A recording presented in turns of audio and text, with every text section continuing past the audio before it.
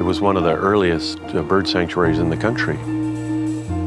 All these biologists and birders have been coming here to preserve it. They can come here and find a big chunk of the birds of Western North America all in one place.